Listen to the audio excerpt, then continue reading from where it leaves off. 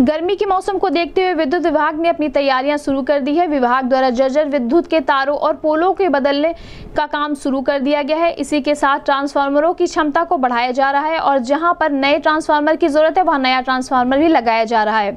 जिसके संबंध में गोरखपुर न्यूज़ से बात करते हुए विद्युत वितरण नगरीय के अधिशासी अभियंता इंजीनियर यदुनाथ राम ने बताया कि गर्मी के मौसम में लोगों को निर्बाध विद्युत की आपूर्ति हो सके। इस संबंध में गोरखपुर न्यूज़ से बात करते हुए विद्युत वितरण के अधिशासी अभियंता इंजीनियर यदुनाथ राम ने कहा।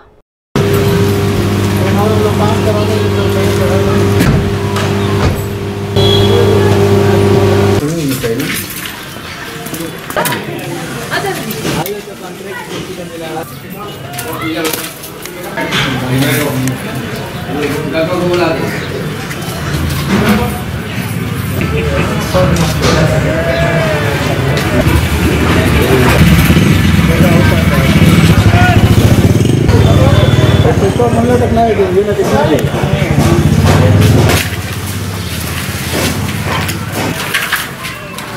ये आने वाली गर्मी के में बेहतर विद्युत आपूर्ति हम कर सकें उसके लिए हम व्यापक तैयारी कर रहे हैं। जहाँ जहाँ पर ट्रांसफार्मर वो लोडेड थे वहाँ पर जो है नए ट्रांसफार्मर हमने लगाया है। करीब दस ट्रांसफार्मर हमने नए लगाए हैं।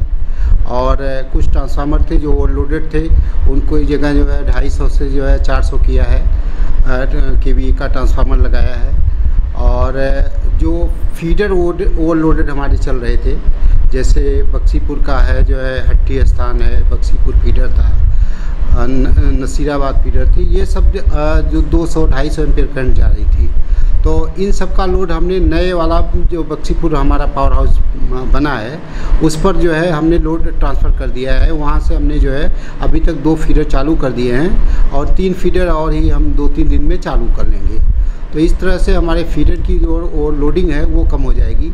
ट्रांसफार्मर की जो वो लोडिंग है डिस्ट्रीब्यूशन ट्रांसफार्मर की, वो जो है हम नए ट्रांसफार्मर लगा करके या क्षमता वृद्धि करके कम कर दे रहे हैं। तो वो भी जो है वो लोडिंग कम होने से जो है ब्रेकडाउन वगैरह कम होगी। पुराने ट्रांसफार्मर जो है, उसका हम साइट पर मेंटेनेंस भी करा रहे हैं। कई जगह पर है कि आप देखते होंगे कि केबल पिघल गई है, कट गई है, शॉर्ट सर्किट होने का डर रहता है। तो उन सभी को, केबलों को हम लोग बदलवा रहे हैं। ट्रांसफार्मर की फेंसिंग भी करवा रहे हैं, ट्रांसफार्मर में टेल डलवा रहे हैं। और उसकी जो है ट्रांसफार्मर की अर्थिंग सही करा रहे हैं। तो जितने प्रिवेंटिव मेंटेनेंस के कार्य हैं, सब हम कर रहे हैं और ट्रांसफार्मर के ओवरलोडिंग कम कर रहे हैं फीडर की ओवरलोडिंग कम कर रहे हैं, जिससे कि जो है जब गर्मी में डिमांड बढ़े तो अभी हमारे पास कोई ब्रेकडाउन वगैरह न हो और हम बेहतर विद्युत आपूर्ति कर सकें।